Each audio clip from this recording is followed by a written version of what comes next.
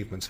Can I raise a couple of difficulties that you've had? It's the sort of personal side, which the poor Liberal Democratic Party seems a bit prone to. Yeah. Uh, Jeremy Thorpe, if I can put it tactfully. Jeremy Thorpe, tragic business, all that, in the mid It was, very, 70s. it was a very, very sad story, Jeremy's fall from grace. And I put it down to the fact that he was very bad at choosing his friends and the people he relied on. I mean, the late Peter Bessell, who was the, the guy he relied on to try and deal with this unfortunate problem of this bloke, and he turned to the wrong person. The other factor, personal business, that's come to haunt you is in the huge figure of Cyril Smith, Yeah. which the allegations Sure. are being investigated.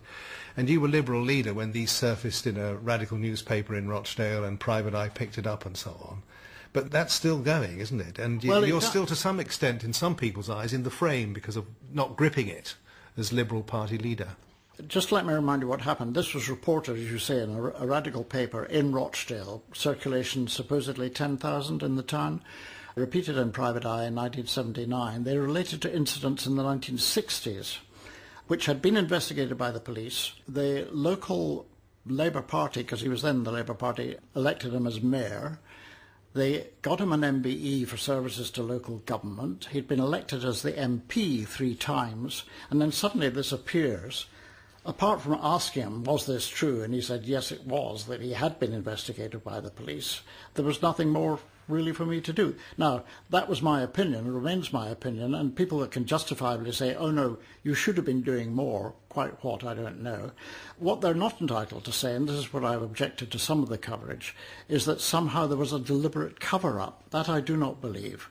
In fact, when I did a radio interview recently, on the World at One, and I said, look, I was leading a political party, not a detective agency. A former Tory cabinet minister who'd heard that interview said to me, do you know, a friend of mine was a QC in the early 70s, told me he'd been given those papers by the DPP, and he had sent them back with the opinion that it was not a case he could successfully prosecute.